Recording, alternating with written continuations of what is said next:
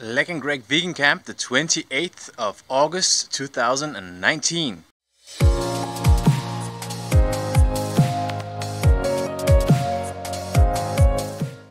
Redrying some of the washing nuts because they are they get moldy.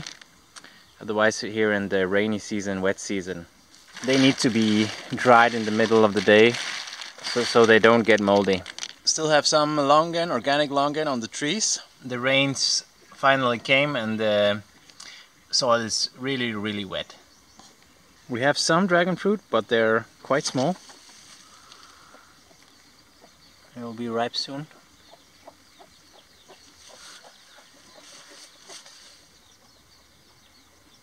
The Mexican spinach fence works really really well. Sweet corn!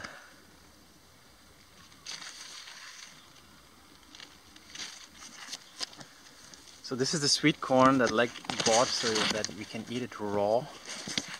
I'm not sure why this is special for raw eating, but it's maybe it's a special type. Giant passion fruit.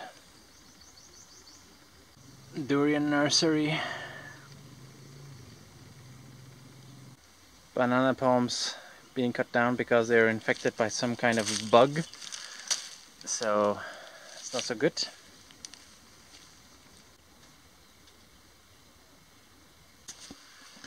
So I made a little um, protective um, area for the pumpkin.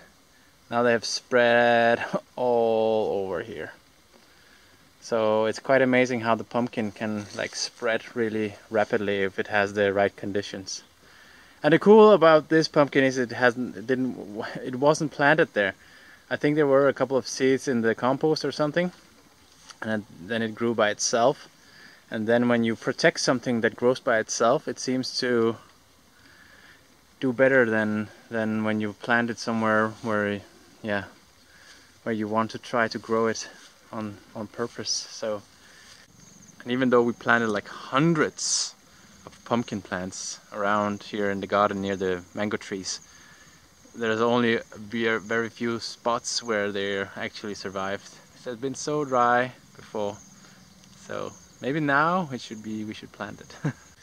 These bean plants are the ones that try uh, to protect because they will give a lot of beans and beans are so nice when they're fresh from the from the garden from the plants like most other vegetables and fruits they're just nice when they're fresh and from the directly from the mother plant